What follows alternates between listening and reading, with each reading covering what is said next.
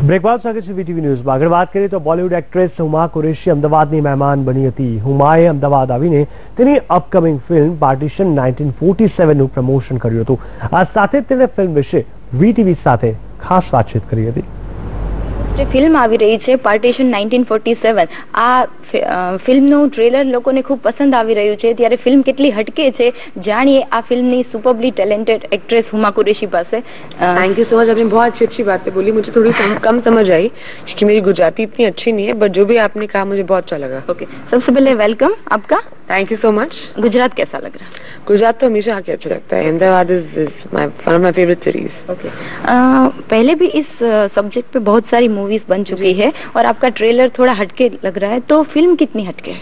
पर फ़िल्म बहुत हटके है एंड आपने सही बोला सब्जेक्ट पे बहुत फ़िल्में बन चुकी हैं पर हाल ही में कोई फ़िल्म नहीं बनी है। काफ़ी टाइम हो गया एक्चुअली कोई फ़िल्म नहीं बनी है। एंड ये बहुत अलग तरीका है पार्टीशन को देखने का क्योंकि हमारे जो डायरेक्टर हैं वो ब्रिटिश भी हैं और पंजाबी भी हैं।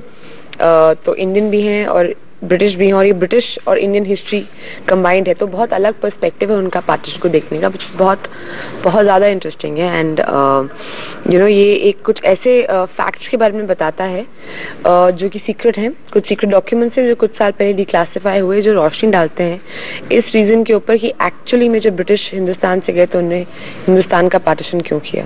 ओके तो आप ने कितना रिसर्च किया? क्योंकि पीरियड फ़िल्म होती है उसमें पर रिसर्च मैंने मैंने कुछ रिसर्च नहीं की। इसकी रिसर्च का काम जो होता है वो डायरेक्टर का था। तो डायरेक्टर ने सात साल seven years she research on this subject okay तो how did the movie happen कैसे फ़िल्म आपको मिली और कुछ बताना चाहिए? एक कास्टिंग डायरेक्टर है सहल लतीफ करके उनका मुझे फ़ोन आया। उन्होंने मुझे कहा कि गुरिंदर चड्डा हिंदुस्तान में एक फ़िल्म बनाना चाहती है पार्टीशन के ऊपर लव स्टोरी है।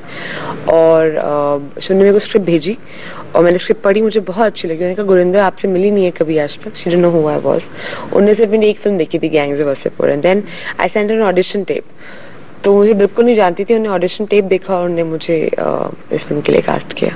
ओके okay, तो आप non glamour role off beat movies ज़्यादा करती है और जॉली एलएलबी जैसी कमर्शियल फ़िल्म भी की तो आपको कौन सी फ़िल्म ज़्यादा पसंद होती है? मुझे हिट फ़िल्में पसंद है जो ऑडियंस को पसंद आती है।